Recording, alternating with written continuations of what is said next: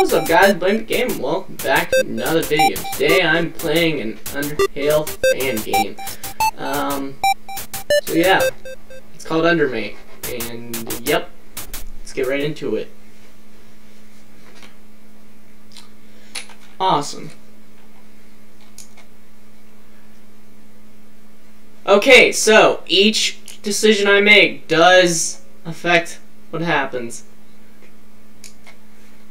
Boy. Boy.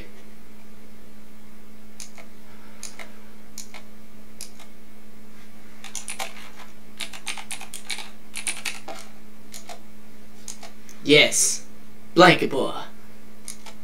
Now we can start the game. Long ago, the peaceful, powerful race called humans ruled the earth. There were two kinds of people.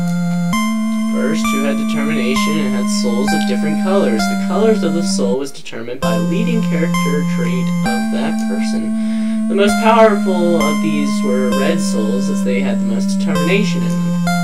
And second, who had magic, their souls were white and had very little determination in them. Humans like that often had unusual looks because their souls and bodies were filled with magic. They could have horns, tails, different colored skin, hair, and eyes. Looks made some of them uh, look more like mythical creatures than humans. Uh, after some time, people with determination became afraid of magical humans. Some even called them monsters. Any small conflict or fire or for the bonfire of hate and dislike, and one day a real war broke out between the two sides. But the fight was unequal, and its outcome was uh, preordained, preordained, the humans with determination achieved the victory over those who had almost none of it. Naming the magical humans monsters, the determined ones imprisoned them in a powerful in an under, underground under Mount Ebott, sealing the exit with a powerful spell, the barrier. Barrier had incredible power. It was uh, only the soul who had lots of determination and magic together that could destroy it. But there was no one with such soul in the world. Magical humans lived underground. They had lost faith, their hopes turned into ashes, and so it was for many, many years.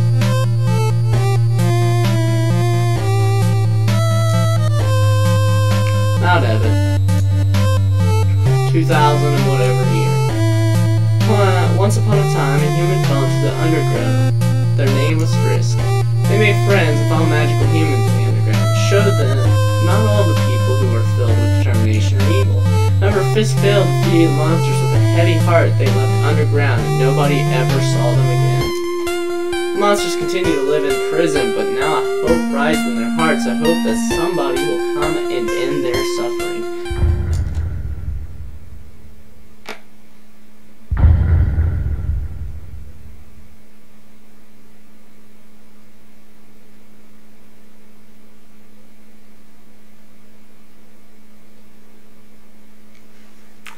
Click here to continue.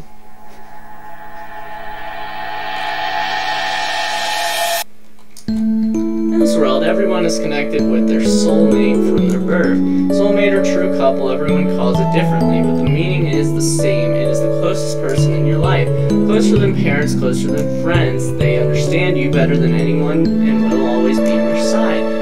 Always, even when Yeah, it's a little weird, probably knowing that there's a strange person you're connected with from your birth, that someone is destined to you as you are to somebody either. Many will wonder in how I can find my soulmate. If you think about it, it, it could be anyone in the world. It's impossible to find your soulmate just by chance. That's what so-called tags are for. Finding your soulmate before reaching 16 years in age is an impossible task. Even if you assume that it's someone know, you can't absolutely know it until the fateful, that fateful age. After reaching 16, a pair of marks appear on the soulmates' bodies. They are similar, but also unique for each pair of soulmates. Only connected soulmates have such marks, and marks have an interesting feature. When connected mates are close to each other, their marks begin to glow and soar slightly, thereby attracting their owner's attention. However, there are some cases when soulmate can feel his or her loved one before reaching 16. He or she can feel an uh, attraction to the place where the other soulmate probably is, and this is the reason which worries me a lot. I live in a small town near the root of Mount Ebott, although town is a pretty big word, it's more like a village. Not much space, everybody knows each other. My parents are not paying me enough attention, but I used to do a lot by myself.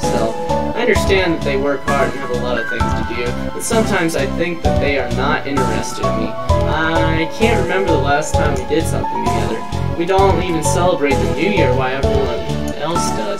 Parents say it's just a waste of time, but looking at how happy our neighbors are during this holiday makes me feel sad. Despite my attempts to persuade my mom and dad to celebrate it, even just once, I failed. Is that too much to ask? At least once? I want to feel loved. Recently I began to feel a strange feeling. Mountain. It attracts me. Is it possible that my desire to go to the mountain and my soulmate are connected? It's weird. I heard stories about magical people sealed under the mountain, but it's just a fairy tale, isn't it? But I started to feel strangely not so long ago. What if my soulmate is somebody from my town, and recently he or she went to the mountain and has not come back yet? I heard that village recently lost a few people, that if my soulmate, what if my soulmate was one of them? I winced before of such thoughts. What if? They got lost. What if my soulmate was walking in the woods and got lost? They wandered into the mountain and now doesn't know what to do. So they are just waiting for me in the hope that I will come in and save them. In fact, there is no clear reason to worry, but a bunch of different situations already appeared in my mind. Uh, and each of one was hardly better than the other. I became nervous. There was just one thought in my mind. Gotta go to that mountain. What if my thoughts are real? Yeah, I don't know for sure, but if I refuse to check, it will slowly tear my mind apart for a very long time. Right, I'll go to the mountain. I left the village and went into the forest, where I was walking with the neighbor kids sometimes. Passing through the forest, I came to the path that brought me pretty high.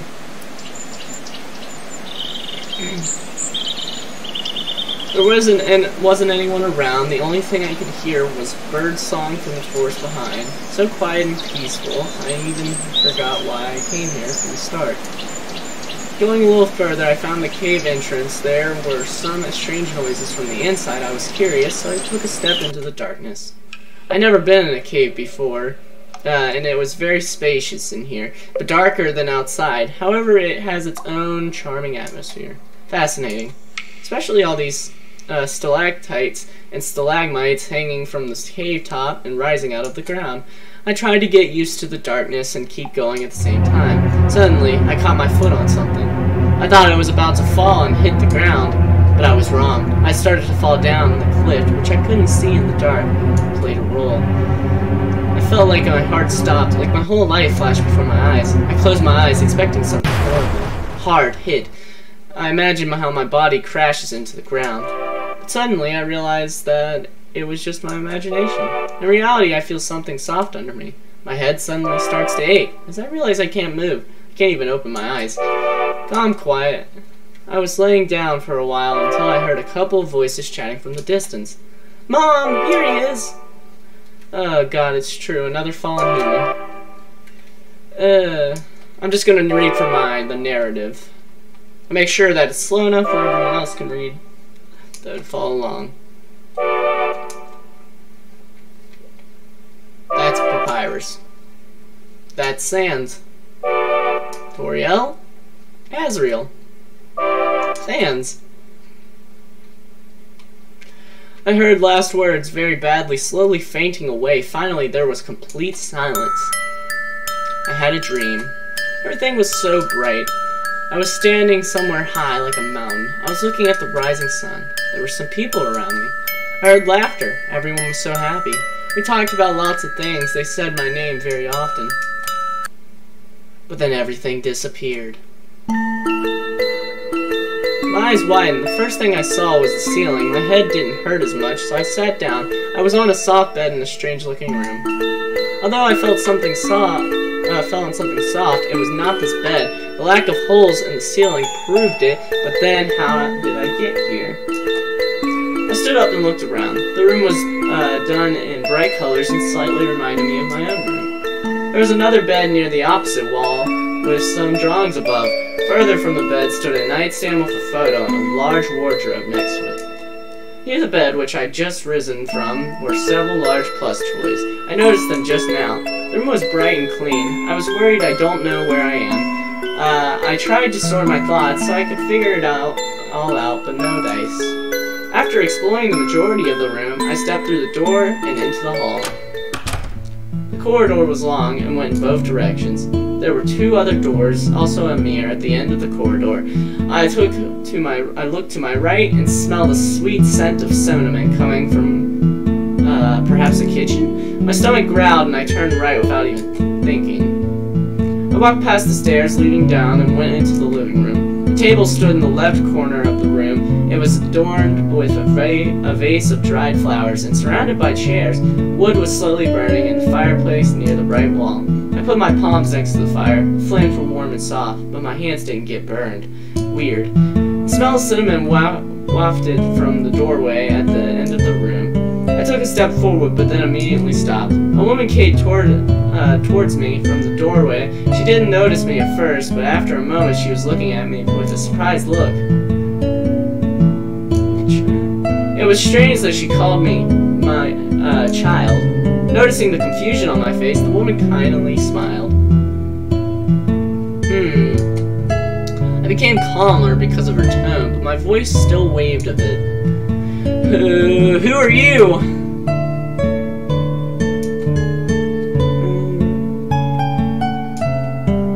I was amused by the fact that she had, uh, had small horns and big fluffy ears. She looked magical, to say the least. If I'm under the mountain, then all these tales about magical people are true after all. Where am I?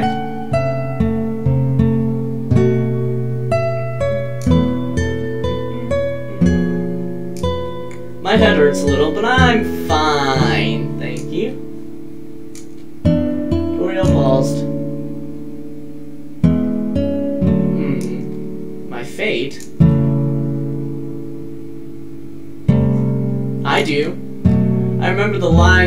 book in which I read about it and quietly repeated them aloud. People filled with determination sealed magical humans underground, creating a powerful spell called the Barrier.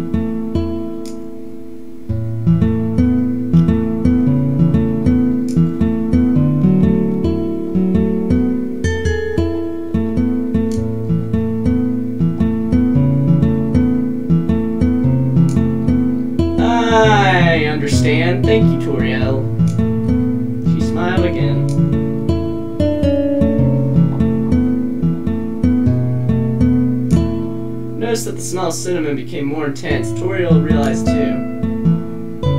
Pie. With these words, she quickly fled to the kitchen. However, uh, Toriel returned in a few minutes.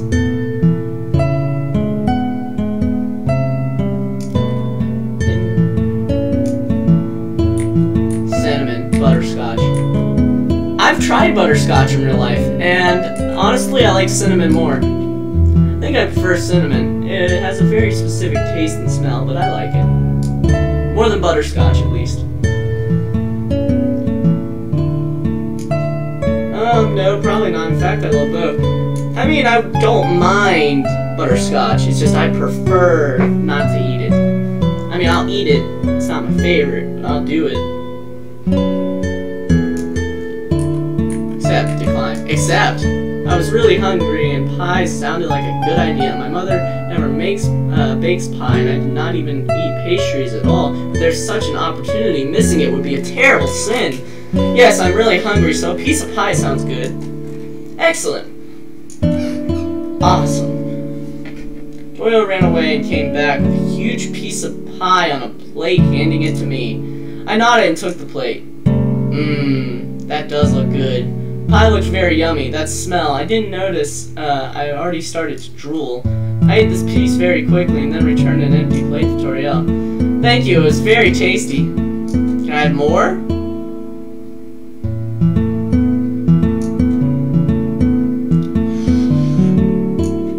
What kind of request?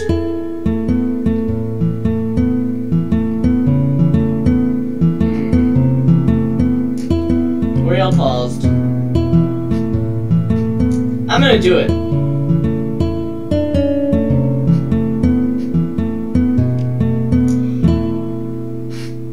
Just for the fun of it.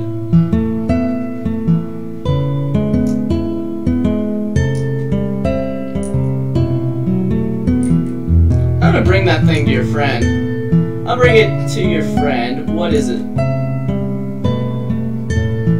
I'll be fine. I swear.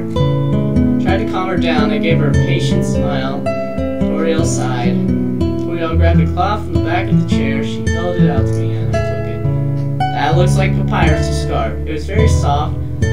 Very soft. Red fabric.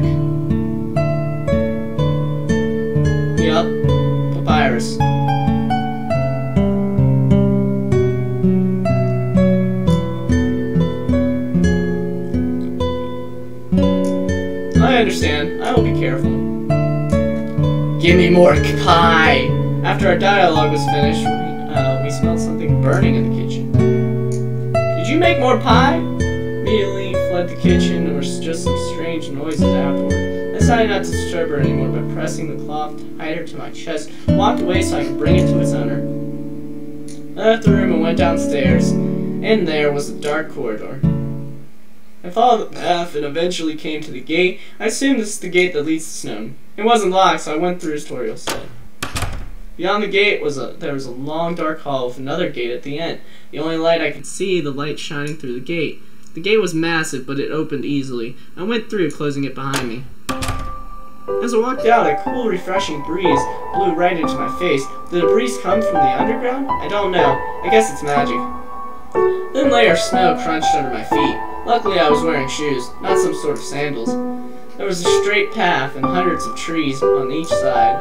I kept following the path like Toriel said. I quickly came to a bridge with wooden bars hanging from a platform and crossed it. I went to a small meadow. There was almost nothing except the observation post and a strange shaped lamp. Very strange shaped. Near the post there were a few people talking about something. The highest of them said something to the other two. I now realize I forgot to ask Toriel's friend's name. I don't even know what he looks like either.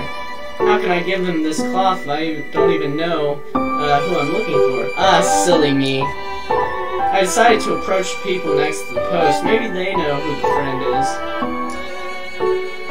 Say, sorry, can I ask you something? Two of them looked at me with a weird expression. The third one turned, but immediately froze in awe. I don't like this at all. I don't like that, but okay. Human, are you awake? I don't like that. Now it's my turn to be surprised. He knows me? Yes. I don't like human Papyrus. The confusion resolved itself. There's no doubt he was Toriel's friend. I don't like human Papyrus. He's scaring me. I was struck by how tall he was. I wonder how old he is. Scarf. Oh, right, here. He gave him the folded cloth, which pretended to be a scarf. He took it and immediately started wrapping it around his neck. After a few swift seconds, he ended the scarf and at the back of the spine. That does look like a scarf. The scarf was longer than him and full height, which left me in awe because he, his skeleton is pretty tall. Thank you. Uh, yeah. Yeah. Papyrus. The Great Papyrus. Perfect. Papyrus, question mark. Nice to meet you, Papyrus. I am Blanky Boy. Not really anywhere right now, so I might just head back to Toriel's house.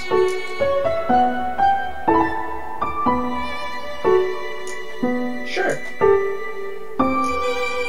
Why not? Fire seems friendly. I hope I can trust him as much as Toriel. Deep down, I feel like I can. It's common for magical people to act like that on the surface. Only a few people would like to help a stranger in distress. Papyrus led me further down the road. I noticed that it's very long and it's almost always going one direction. Soon I saw a meadow with an ice-cold lake. Right where the road widened was another observation post, but this one looked more like a big doghouse. We walked closer and stood in front of the building. The observation post itself was empty. There was almost nothing inside except for one poster. However, there was some kind of reception bell on its surface. I decided to move to the right, but suddenly someone jumped right out of the post, seriously scaring me. That's also scary me. I don't like that. I jumped from fright. He blinked.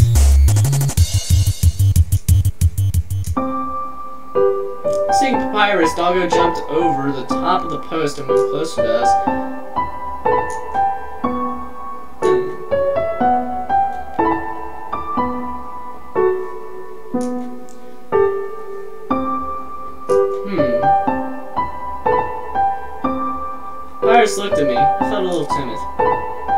Saw my expression and smiled. He winked and just stood there, not making a sound.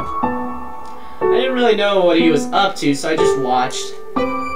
Doggo tensed. Papyrus wasn't responding.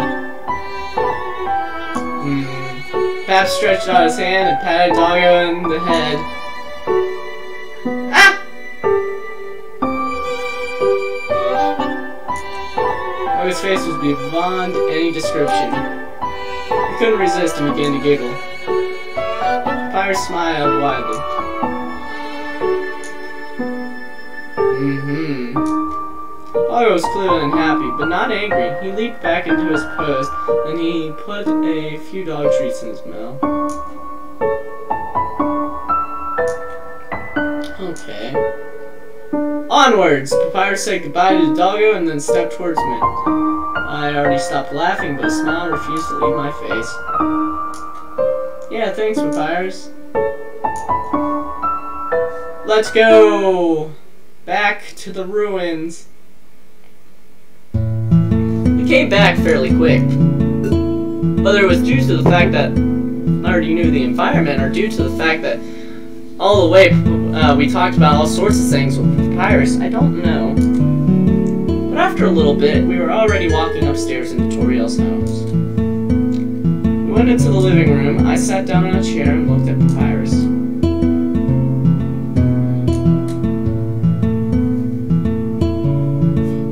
Ugh, very cold! I remember the trick and, with Doggo and giggled. It was fun, I liked it. Very cold though. Nah, I'm fine. Little do you know I made a fire.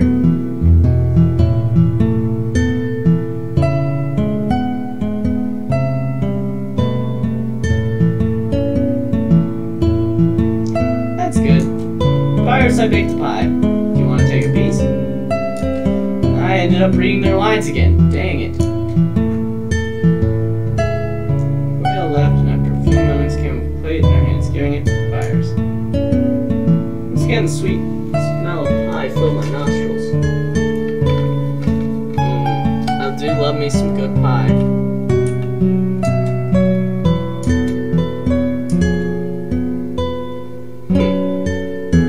he just pops up out of nowhere. Yep, I knew it. Front door slammed and a guy about my height came into the living room. Save. Empty slot.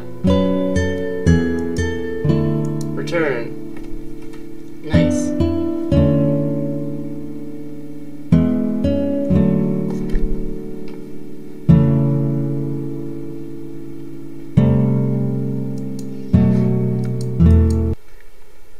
Just do this, scrap the video, and... No. Go here.